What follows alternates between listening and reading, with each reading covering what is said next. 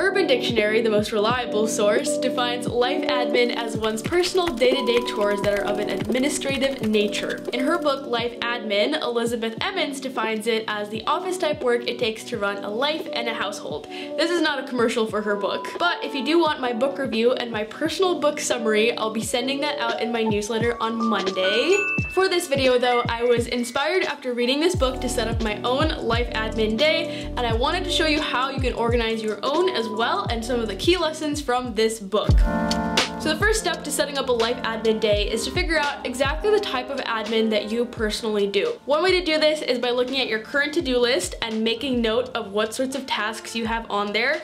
Pay special attention to tasks that have been on there for a long time, like that package you've been meaning to take to the post office for three weeks, or that bag of clothes that you've been meaning to donate for three months. If your current to-do list is not really representative of your full plate of normal life admin responsibilities, you can take a look at your trigger list. The trigger list, if you're new to this channel, is what we use for brain dumping. So it's basically a list of the different areas of responsibility of your life, the various kinds of tasks that you do. If you want a bit more of an explanation, I talk about it in my weekly planning video. I've also put together a little summary of categories that were mentioned in the book as well as some that I thought of on my own, so just feel free to pause this screen, take some notes, I'll give you time. Okay, so once you make a list of all of your life admin that one time, you can use it anytime you need a life admin day in the future, or you could set a recurring event on your calendar and just have that life admin day happen automatically. And then every time you take a look at your list and you just ask yourself, which of these items needs to be done? Category I'm working on first is research because I think that is my life admin weakness. It's the stuff I'm most likely to put off because it's just so nebulous and it gives me a headache because I don't know what I'm doing. So I think the four main annoying things that I have to research are accountants for my blog, uh, lawyers or other types of people who can help me with working legally, setting up a business or whatever in Spain. Tengo pasaporte lituano, pero uh, soy residente de los Estados Unidos. This is what imposter syndrome is, I think. I feel like I'm on the phone, like pretending to be an adult, pretending to be a business owner, and I have to make sure that other people don't find out that I'm just pretending. Uh, travel insurance for getting to Spain, and then I was also thinking about insurance for my equipment because I'm gonna be bringing over like my computer, camera, other camera, everything. Um, and then I thought I should look at credit cards. I don't know. I have a personal checking account and a business checking account with a bank here in Madison. And I also have a credit card with them, which I got purely for the purposes of building my credit, but I barely use it, so it might not even be helping with that. I'm pretty sure I'm gonna have to open an account with a Spanish bank, but then I also feel like I should get some other kind of credit card because I'm pretty sure I get literally no benefits from the one that I currently have. Something like cashback or travel miles or whatever those are, points, something. So according to Elizabeth, there are four different life admin personalities, none of which is objectively the best. They all have their own specific strategies and we can learn something and borrow something from each of them. However, I do think, I would guess that in this audience we probably have a disproportionate amount of super doers. So I would encourage you to take a look at the strategies of the other three personalities. So the super doer, they are on top of things and feeling great about it. They optimize and systemize things and they delegate and outsource intentionally. The admin denier is not doing their admin, but they're feeling fine about it. Out of sight, out of mind. They rebel against admin, they try to escape from it, and they try to reduce their admin by simplifying their life overall. Hashtag minimalism, hashtag more with less. The admin avoider, on the other hand, is not doing their admin, but they feel bad about it. So they delay admin and they deflect it when it's handed to them like, do I have to do that? And they tend to go with their gut rather than taking the time to research their options. Finally, the reluctant doer, they get their admin done, but they do not enjoy it at all. This personality tries to minimize their admin by choosing low admin activities and options in the first place.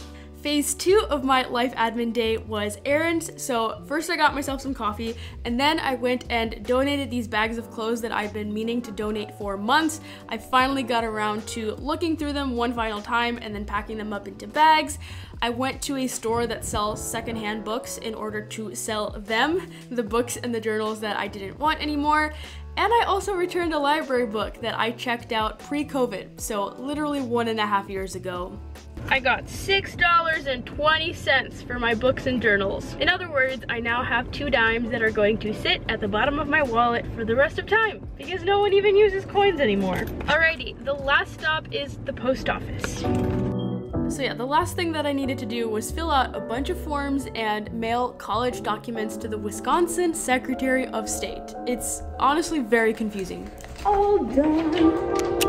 There are also different styles of life admin, and if you know your personal style, you can make doing admin more personally enjoyable. So do you prefer using techie gadgets or old school paper? Do you like making things pretty or do you like efficiency? Do you like to get things out of the way right away or do you like to wait until you have a chance to complete something right, do it thoroughly? Do you prefer getting a lot done in one sitting or short sprints of work time? Do you prefer doing life admin stuff with other people or by yourself? So once you know your personal style and how you like to work, it's time to plan your life admin day. One way that you can organize this list is by grouping things based on the physical or mental context. You could also group them from most difficult to least so that the whole process gets easier and easier as you go, or you could try alternating difficult tasks with easy fun ones so that you get a little reward each time you finish something difficult. And finally, the last stage of my life admin day was just a bunch of little leftover computer tasks. Nothing that's too difficult, nothing that takes too long. It's just, it always gets pushed off the to-do list somehow. Okay, so I had this fantastic idea for sort of a going away gift for my parents when I leave for Spain. There are these digital photo frames. You've probably seen them. We got one for my grandma when we visited her in 2019, but we got her one of those where you have to like plug in a USB or something. And so we loaded it up with photos and we gave it to her, but it's not gonna update with new photos until the next time we visit Lithuania because she for sure is not gonna be able to figure out how to take out the USB and download photos from the cloud or whatever so I thought for my parents, wouldn't it be fun if I got them a Wi-Fi digital photo frame? I think there's like an app where you can send photos to the photo frame with your phone. And so while I'm in Spain, all the cool photos I take, I can just send them to their photo frames and they'll wake up and there's a photo frame on their bedside table and they can see what I'm up to. I think it's a super cute idea. So they're pretty expensive. I think on average they're probably like 150 because the Wi-Fi is an expensive feature apparently, but I think it's gonna be very meaningful and useful in the long term. So I am splurging on my parents today. One thing that helps to stay on track is to plan out a rough schedule for the day. So kind of using time blocks. We talk a lot about time blocks on the Bliss Bean, but looking at your calendar and trying to figure out roughly how long each category of life admin will take so that you know if you're staying on track. And then also deciding which of these tasks on your big long admin list are the least important so that if you are running out of time, what can you push off until the future and what has to get done today? At the end of your life admin day, it's a good chance to reflect on how the whole thing went. How could you simplify the tasks that you did today in the future so that they can be more efficient or completely unnecessary in the future? So I hope you enjoyed watching this video. It was a very interesting experience for me. I actually really enjoyed uh, comparing credit cards and having a call with an accountant. It made me feel very grown up, even though it was very confusing. It was also very satisfying to go and donate those clothes and books that had literally been sitting in the hallway for months, um, and that library book that I'd had for like a year and a half. And that's just what a life admin day does. It takes that weight off your shoulders. It makes you feel refreshed. So I hope this inspires you to do a life admin day of your own. Let me know in the comments what your lingering tasks are. What is it that you're not getting around to? I already admitted to having a library book for a year and a half, so it is a safe space down there in the comments. Feel free to admit to any embarrassing admin stories that you have. Be sure to give this video a like and subscribe to my channel and turn on notifications, and I will see you next week. Bye!